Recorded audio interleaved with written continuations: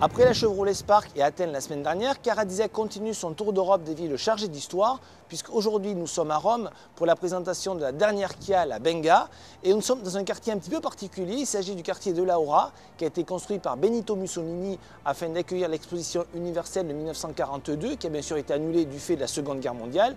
Et comme vous allez pouvoir le constater, c'est très particulier. Pourquoi? Parce que vous avez des colonnes, du marbre, des statues, c'est très lourd, très chargé. On a un petit peu l'impression d'être à la fois chez Jules César et aussi chez Cléopâtre, mais tout simplement, ce n'est pas le cas, parce qu'on est simplement chez le Duce.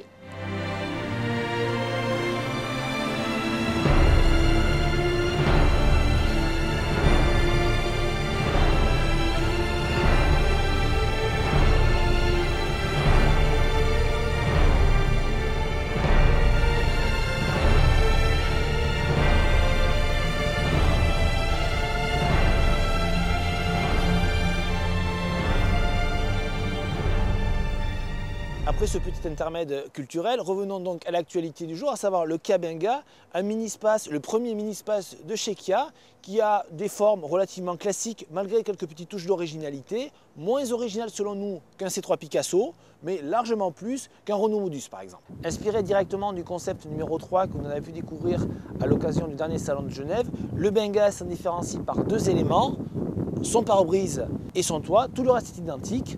Au niveau des mensurations, ce Benga mesure 4,08 m, c'est 5 cm de plus approximativement qu'un Renault Modus et quelques centimètres de moins qu'un C3 Picasso. Petite touche d'originalité, regardez ici en bas des portes, un petit décochement assez sympathique.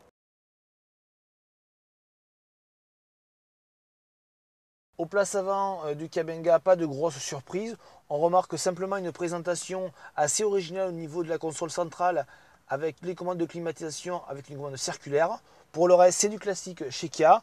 On ratera toujours une qualité des matériaux un petit peu décevante, mais ça s'améliore. Pas de problème au niveau de l'habitabilité arrière, un espace aux jambes très satisfaisant. Également au niveau de la garde-toit. Petit plus de cette version haut de gamme, un toit ouvrant panoramique. Alors l'un des points forts du Kabenga est son volume de chargement qui est aussi en configuration 5 places entre 440 litres et 570 litres. 570 litres c'est ce qu'on a aujourd'hui là avec le coffre en position basse. Si vous escamotez la banquette arrière, ce qu'on fera tout à l'heure, on obtient aux environs de 1300 litres, ce qui est correct tout simplement, puisque la concurrence fait mieux avec aux environs de 1500 litres. Quand on rabat la banquette arrière, on constate deux choses. Tout d'abord, la facilité d'utilisation. Regardez, la banquette s'escamote très facilement. Et deuxièmement, on découvre un plancher quasiment plat. Pourquoi quasiment? Parce que là, le coffre, il est en position haute. Si vous êtes en position basse, vous avez une marche d'à peu près 10 cm.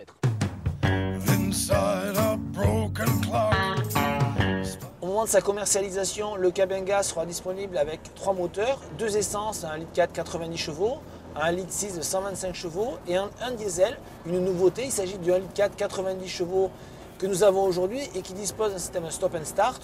Sur le peu de kilomètres que nous avons pu faire aujourd'hui lors de notre essai, on a remarqué que quelques petites informations. Tout d'abord, un moteur qui correspond bien à la vocation familiale, mais également citadine du Benga, qui n'a pas vraiment beaucoup de, reprises, malgré 220 Nm de coupe, mais ça suffit largement pour un usage citadin. Il permet également de sortir un petit peu de la ville pour faire du périurbain.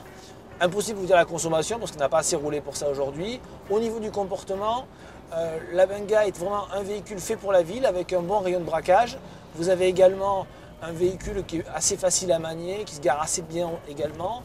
Seul petit euh, grief qu'on a pu constater aujourd'hui, c'est un amortissement et des sièges un petit peu fermes.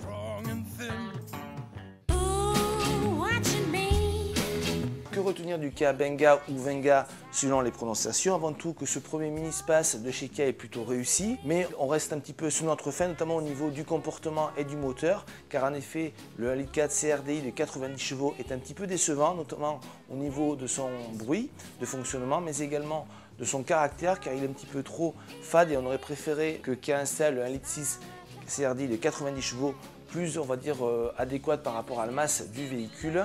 Pour le reste, le Kavenga est plutôt bien conçu au niveau du style, au niveau de la praticité. Il dispose de prix particulièrement étudiés qui oscillent entre 14 690 euros et 19 590 euros. Enfin, son dernier atout est sa garantie, qui est de 7 ans ou de 150 000 km. C'est unique sur le marché.